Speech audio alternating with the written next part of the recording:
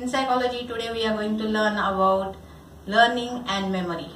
But before we start our lecture today, I would like to remind you like, share, and subscribe my channel so that whenever I will upload the next video, you will get the information about it.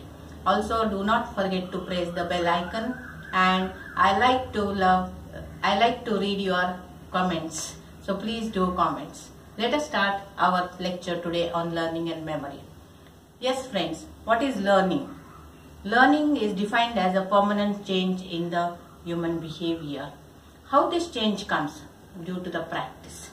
Whatever activity we are doing it, we are doing it again and again and again, then that becomes a practice. And when we do the practice, our learning takes place. Learning is also uh, acquiring an of information. What information we are acquiring? It can be any type of an information. It can be values, it can be skills, it can be a computer learning, anything which we learn that is learning or acquiring the information. According to Benjamin Bloom in 1965, he says there are three domains of learning. The first one is cognitive domain of the learning. What is cognitive? Cognitive is learning, remembering, recalling and retrieving the information. What is the psychomotor?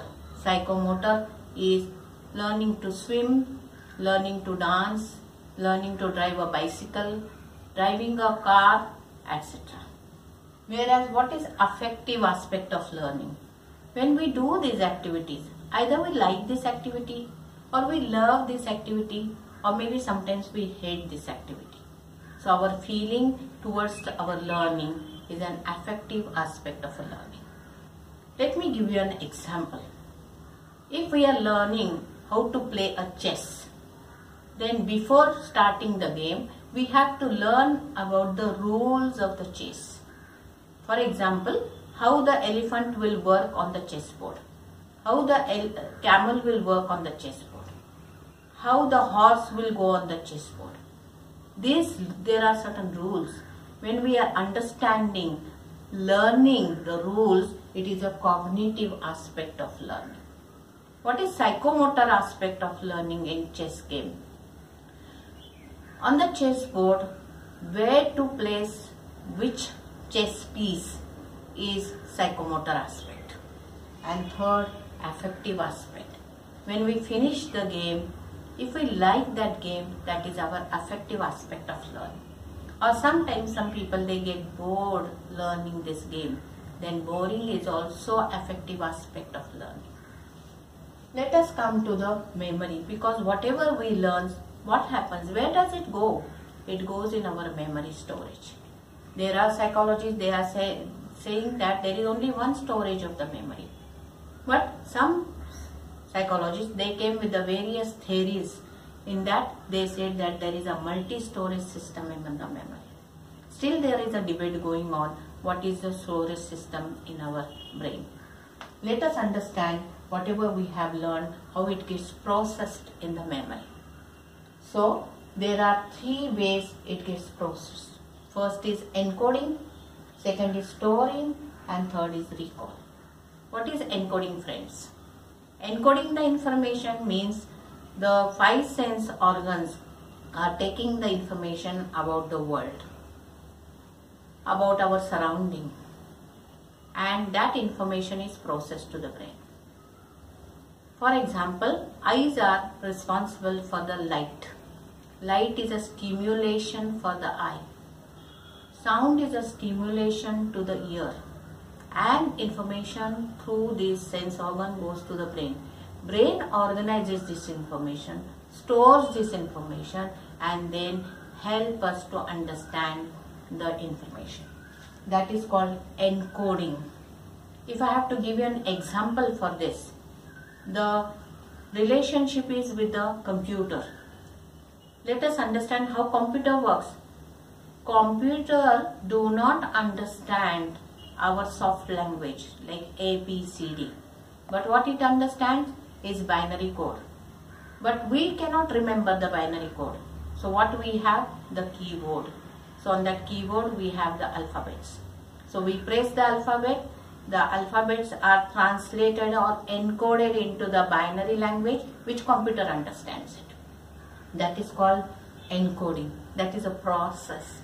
And then that information is stored in the on the motherboard. Like that it is stored in our brain also. And then whenever we want to recall the information or retrieve the information for the use in our life, that time we remember that information which is stored in our brain. Let us come friends to the types of memory. We have here three types of memories. First is a sensory memory. What is sensory? Sensory is a sense organs. The outside world information comes to us and strikes to our sense organ, eye, ear, nose, tongue, skin. So here the information is held for a second. So that is also one type of a storing system of memory. And then if it is not important, if it is not attended, then all that information is dropped. Because new information in the next second is getting registered in the sense organs. Therefore, every second the information is either deleted from the storage or if we attend to that information, only attended information will be processed further to the short-term memory. Let me give you an example gone in a crowded place where there are unknown people. We are registering, looking at the people and that images are getting registered in our sense, mem sensory memory. But among them, we saw our friend or we saw our relative. So immediately we spot up, oh my, this is my friend.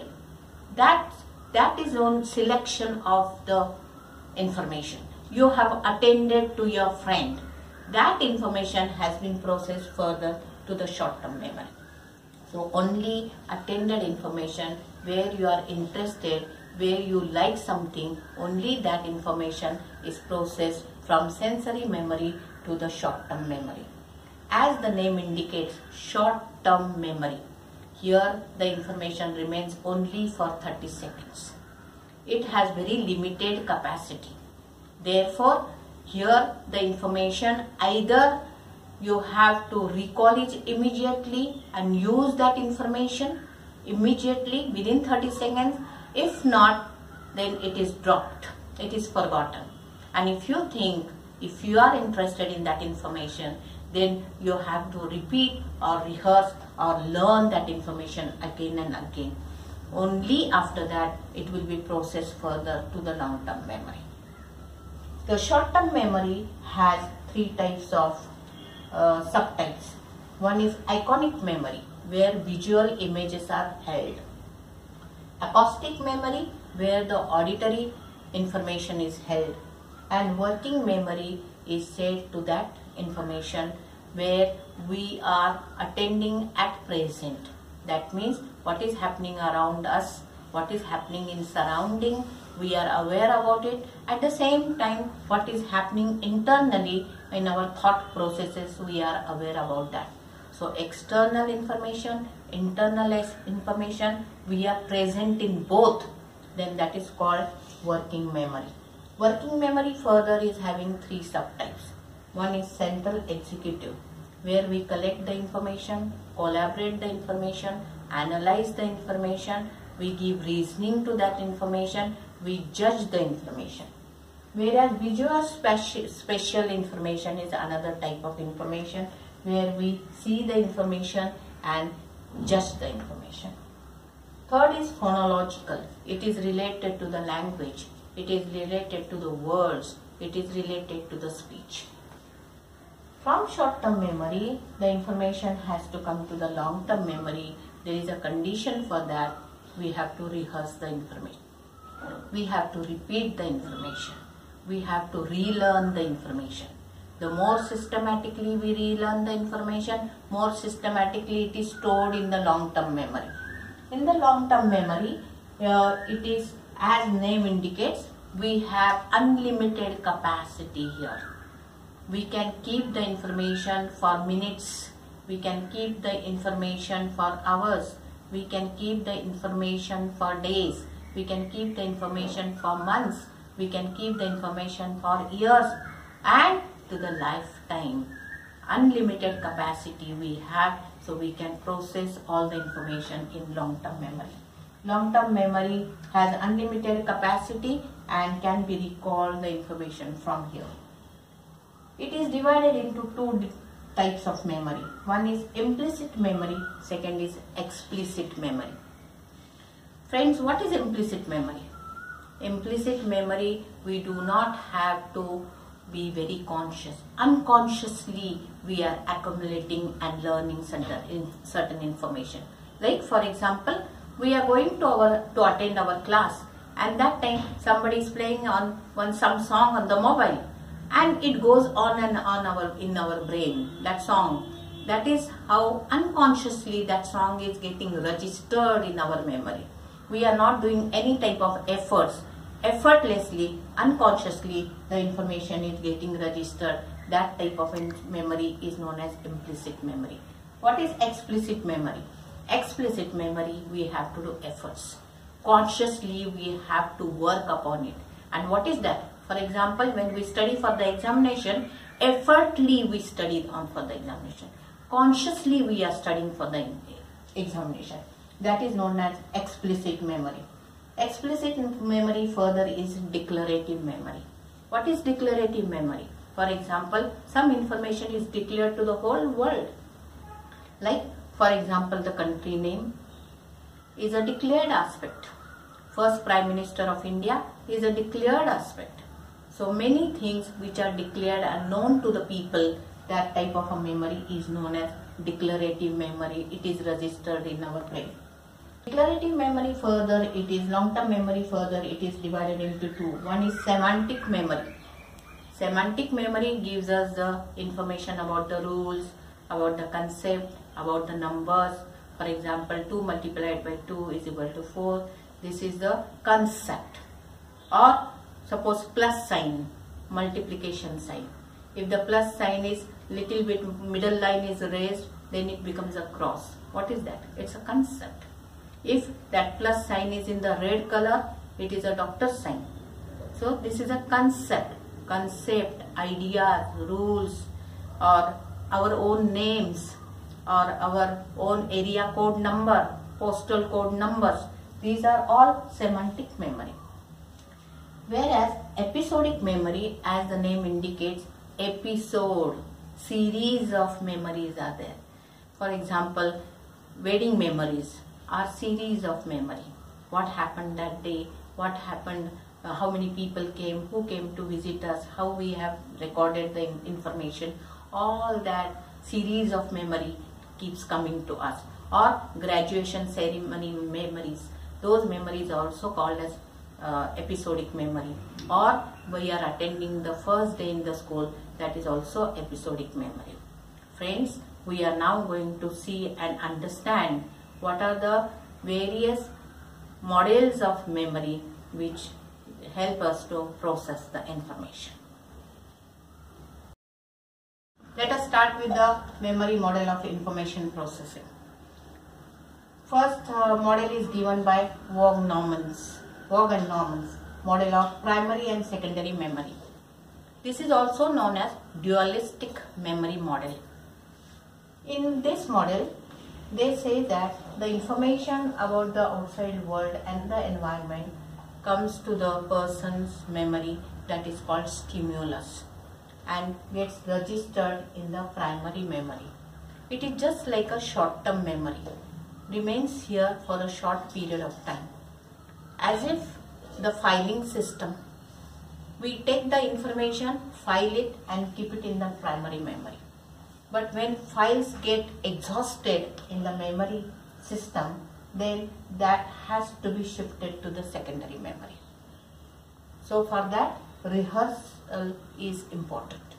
So memory storage, if it gets full, either the information is dropped or it is rehearsed and it is shifted to the secondary memory and here the information remains for a longer period of time that works as if it is long-term memory. This is one of the model how the information gets processed. Another model is given by Atkinson-Shiffrin model. That is model is also known as the stage model. Here also they says that the information about the world comes from outside and get registered in the sensory registration. Sensory registration here the specifically visual information retains here for one second and how many images are held here is nearly 14 to 15 whereas the acoustic that is auditory information held here for one second 6 to 7 digit. Here maximum information is lost because next second the new information is getting registered. Therefore the information is scanned by the brain every second. And every second either the information is dropped only attended information will go to the short term memory. Otherwise all other information is dropped here. If you attend the information and if you think it is important information for you then from sensory registration the information is transferred to the short term memory. As i told you before also short term memory as name indicates has very little capacity to keep the information Secondly, here the information retains only for a short period of time that is for the 30 seconds. What happens to the information then here? After 30 seconds either it is dropped or you can make use of that information by recalling that information. Or if you think that it is very important information then repeat or rehearse that information so that from short term memory the information is transferred to the long term memory. Here the information retains for a long period of time as I told you for hours, for days, for months and for the lifetime.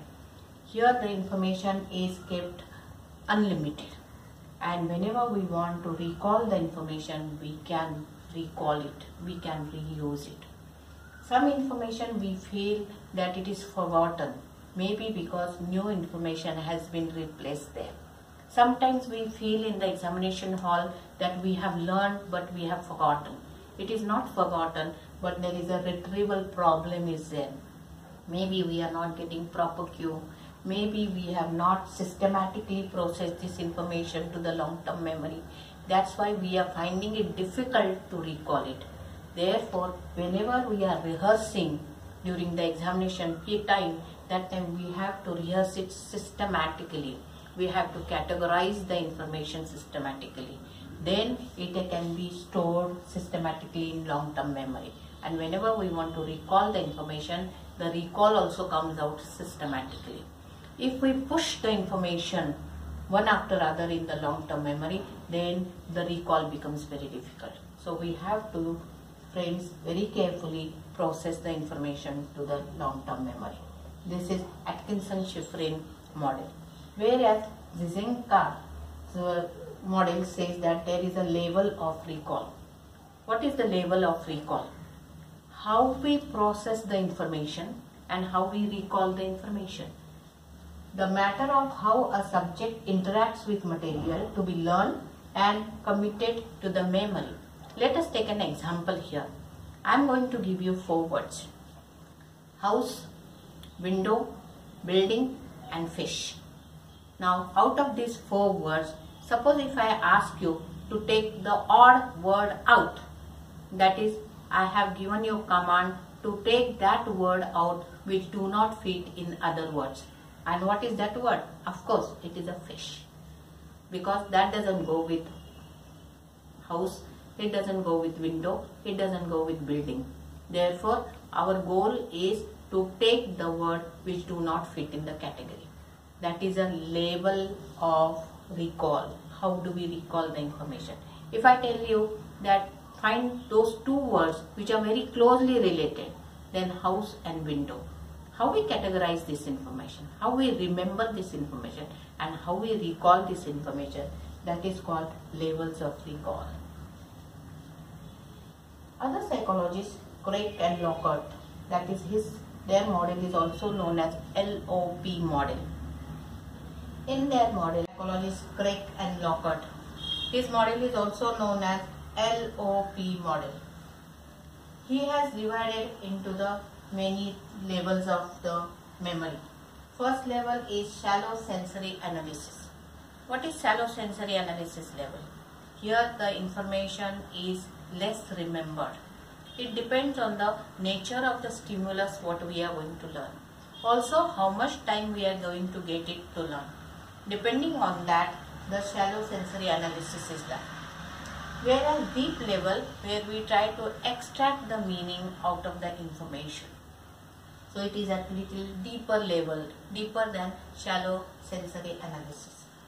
Deeper processing where the information is done at the cognitive level, where we analyze the information, we interpret the information, we try to give the meaning to the information that is at a deeper level processing. Whereas semantic analysis is related to the words, related to the area, related to the course, related to the names, etc. One more person whose psychologist name Roger and others his associates has given one more model where he has given the list of words to the subject to learn and free recall was demanded. In free recall there is a person who has to learn the words and recall the words in any order. There is no restriction on him that how to recall recall all the words whatever they can recall it. That is again shallow coding is done because we are not going into the deeper level. We have to just learn the words and recall the words. Here then he says that self-reference recall is the best. What does that mean? It means that the words which are related to yourself. For example, if a person is honest, then word honest is there, then he remembers much better than other words. Some people are greedy and that relates to themselves and that's why the word greedy is present in the list that is recalled better than other words. That's why his model is also known as self-reference effect. I hope today's topic you felt it very interesting and see you all for the next video. Soon I will upload the next video and see you and till then have a good day.